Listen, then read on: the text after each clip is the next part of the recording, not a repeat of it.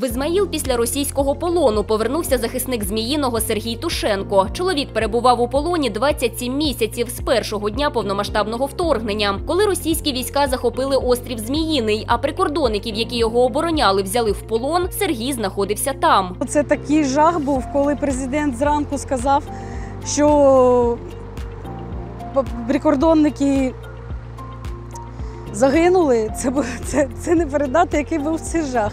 Хоча ми з вечора з ним розмовляли, переписувалися. Він казав, що поки що обстановка нормальна, ми тримаємось. Вони не зразу їх захопили в полон. Тому ми сподівалися, що це все добре. Валентина також зазначила, зв'язку з її братом весь цей час не було, але родина вірила, що він живий і скоро повернеться додому. Жодного зв'язку, жодного письма. Е, один раз тільки Червоний Хрест е, передав е, повідомлення. Це було через два роки.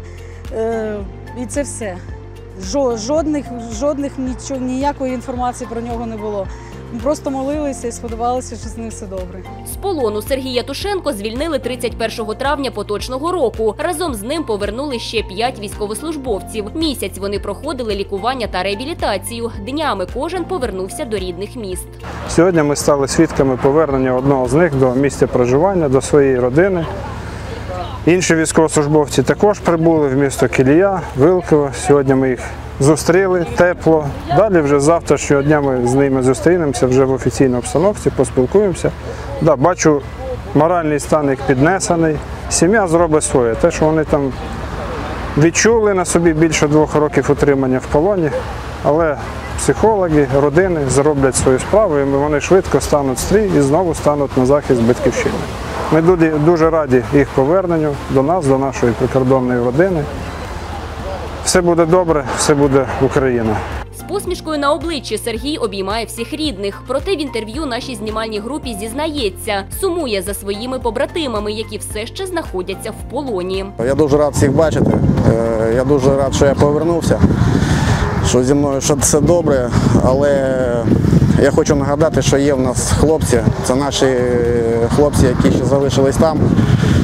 Це Гіренко Віталій Віталійович, це Гутнік Володимир Миколайович. Треба їх повертати. Вони теж хоч хочуть додому, до своїх рідних, до батьків, до дружин. Чоловік також додав, перебуваючи на лікуванні, мріяв скоріше повернутися на батьківщину та обійняти рідних. Як не буває добре в іншій частині України, а у рідному місті завжди краще. Я щасливий, що я нарешті вдома повернувся до своїх рідних.